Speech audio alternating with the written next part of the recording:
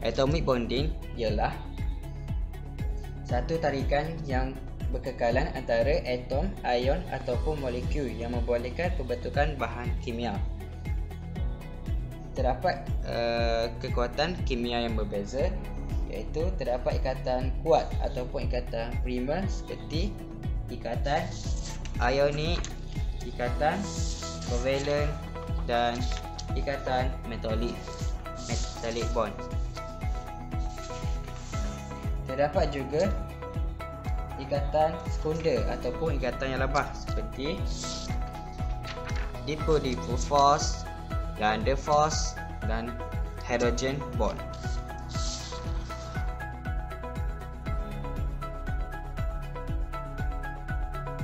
Ikatan ionik Ikatan ionik ialah jenis ikatan kimia yang melibatkan daya tarikan elektrostatik antara ion positif dengan ion negatif.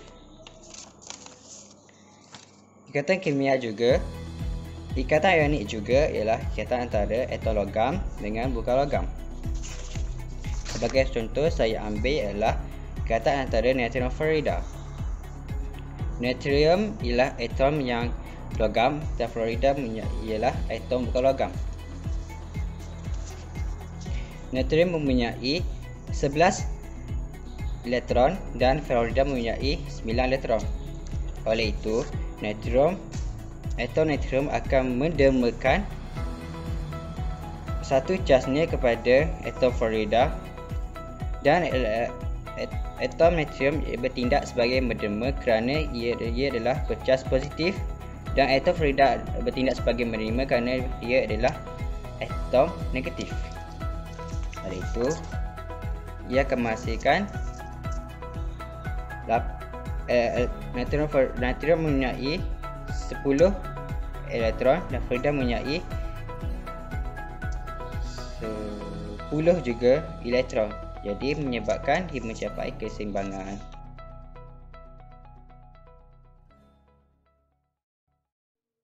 Seterusnya ikatan kovalent. Apa itu ikatan kovalent? Ikatan kovalent adalah atom dikongsikan oleh dua atau lebih atom bukan logam. Tujuannya ialah untuk mencapai kestabilan sesuatu atom. Dan setiap atom mestilah mempunyai 8 elektron valence pada petala untuk menstabilkan ikatan kovalent tersebut. Contoh yang pertama, ikatan kovalent adalah H2O iaitu air. Ia adalah gabungan dua hidrogen yang bercas positif dan dia ber- dikongsikan berkongsi dengan oksigen yang bercas negatif akan menghasilkan ikatan kovalent H2O iaitu air di mana luar paksinya mempunyai 8 elektron valence maka ikatan kovalent untuk H2O ataupun air stabil HCl iaitu asid hidroklorik di mana hidrogen bercas positif berkongsi dengan klorin yang bercas negatif. Hasilnya adalah hidrogen bercampur dengan klorin di mana di luar paksinya mempunyai 8 elektron valence. Maka H ikatan valent untuk HCl iaitu hidroklorik adalah stabil.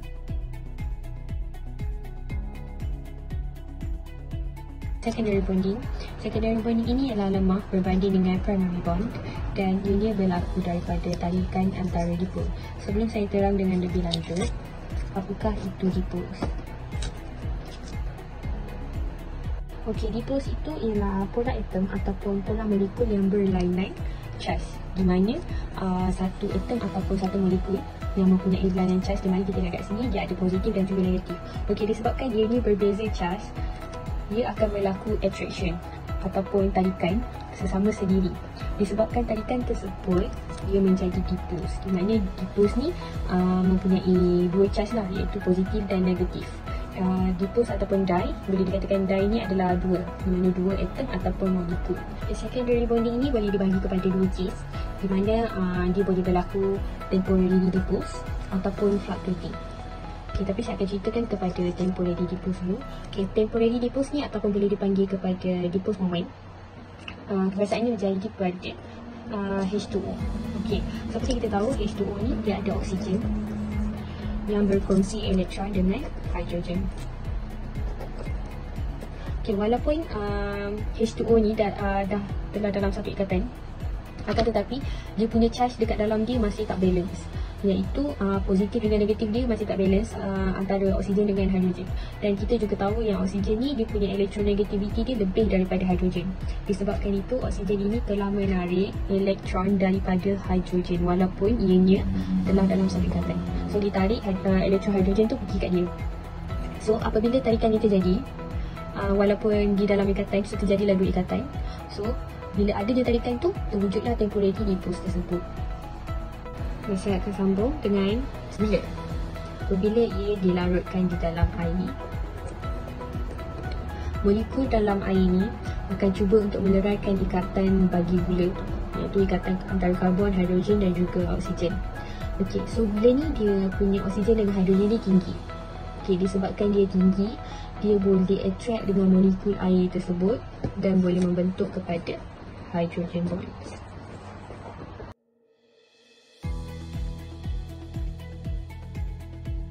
diberi Ahmad Muzaffar Zakiri bin Sulaiman memegang nombor menteri AB200007 daripada kelas pemilihan bahan section 1.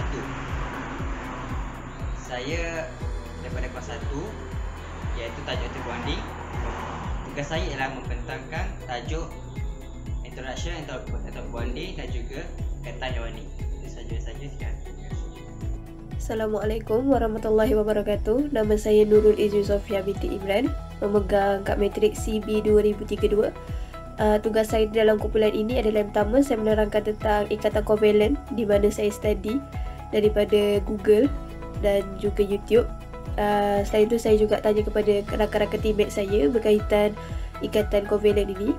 Seterusnya uh, tugas saya adalah penghasilan video di mana uh, saya belajar membuat video dengan cara saya menghadiri seminar mana-mana seminar dan juga daripada YouTube sendiri. Seterusnya uh, saya compilekan semua video yang ada dan inilah hasil video tersebut. Assalamualaikum, saya ni Sony binti Rezikin memegang nombor metrik CB20084. Uh, tugas saya dalam kumpulan ni ialah saya menaik uh, dalam uh, progress report dan juga saya telah menghantar progress report tersebut ke dalam motor. Dan selain daripada itu saya menyusun uh, struktur apa yang perlu ada dekat dalam video. Dan seterusnya saya juga telah uh, mengkaji perkara-perkara asas berkaitan dengan tajuk supaya saya boleh terangkan kepada ahli kumpulan untuk mereka lebih faham dengan lebih lanjut supaya mereka mudah untuk membuat uh, penerangan dalam video kumpulan. So itu saja. Terima kasih.